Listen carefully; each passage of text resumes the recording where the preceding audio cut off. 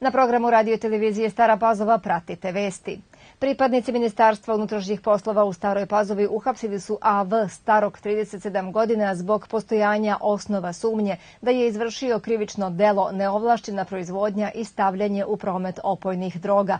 Osumnjičeni je zatečen prilikom primopredaje dva paketića heroina 36-godišnjem muškarcu na parkingu pored restorana u Staroj Pazovi. Daljim radom policija je pronašla još 8 grama heroina za koji se sumnja da pripada AV.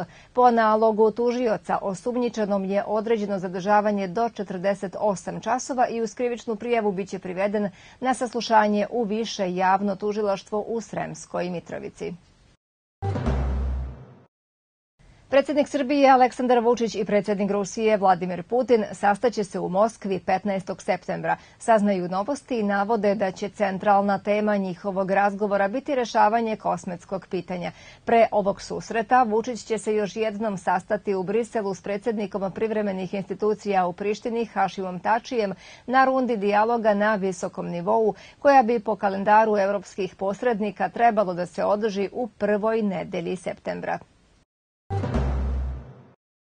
Rusija je dosledna, a Moskva će poštovati odluku Srbije po pitanju Kosova i Metohije, poručila je u Beogradu direktorka Departmana za informisanje i štampu Ministarstva spoljnih poslova Rusije Marija Zaharova. Kako je rekla, stav Rusije po pitanju Kosova je dosledan i zasnovan na međunarodnom pravu, poštovanju suvereniteta Srbije i njenog unutrašnjeg zakonodavstva. U Sremu je prema još nepotvrđenim informacijama virus zapadnog Nila odneo i prvu žrtvu u ovoj godini. Reč je o, kako nezvanično saznajemo, 68-godišnjem staropazovčaninu koji se ubraja u rizičnu grupu starijih od 50 godina za stvaranje neuroinvazivne forme bolesti. Institut za javno zdravlje nije se još uvek oglasio ovim povodom s obzirom na to da se presek pravi svakog utorka. Pokrajinski sekretarijat za poljoprivredu, vodoprivredu i šumarstvo dodelio je 595 ugovora vojvođanskim poljoprivrednicima koji su dobili bespovratna sredstva na konkursu za podršku mladima u ruralnim područjima i za nabavku opreme i sistema za navodnjavanje. Ukupna vrednost investicija je oko 614 miliona dinara, od čega je učešće iz pokrajinskog budžeta 380,6 miliona dinara. Potpredsednik pokrajinske vlade Đorđe Milićević je izjavio izjavio da je to dobro za srpsku i vojvođansku poljoprivredu. Pokrajinski sekretar za poljoprivredu, vodoprivredu i šumarstvo Vuk Radojević naveo je da je u okviru nove mere podrške mladim poljoprivrednicima do 40 godina za Start-up program koja je usaglašena između Ministarstva poljoprivrede i pokrajinske vlade, namera da se i na ovaj način doprinese demografskoj obnovi ruralnih područja Vojvodine.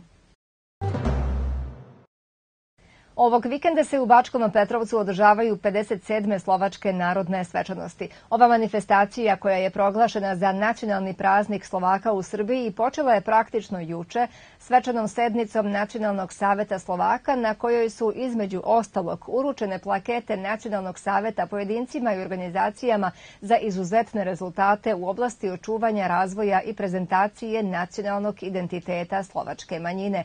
Jedna od nagrada otišla je u ruke Ružene Červenski, koreografa iz Stare Pazove, koja ove godine proslavlja 80 godina života i 60 godina rada na očuvanju tradicionalne kulture.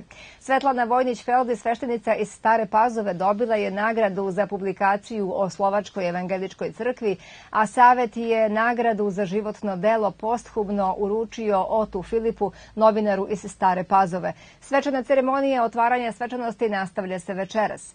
Za sutra je planiran gala koncert najboljih folklornih ansambala iz Vojvodine na kome će nastupiti i folklorni ansambl Klasije iz Stare Pazove.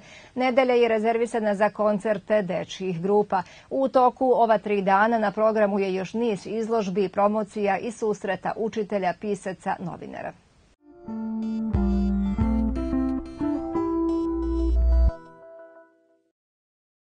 Prema prognozi meteorologa, sutra pretežno sunčano i veoma toplo posle podne u planinskim predelima, a uveče i u toku noći na severu pojava kratkotrajnih pljuskova sa grmljavinom. Vetar jugoistočni slab i umeren u Košavskom području, povremeno jak. Najviša dnevna temperatura do 30 stepeni Celzijusa. I toliko za ovo izdanje vesti. Hvala na pažnji i doviđenja.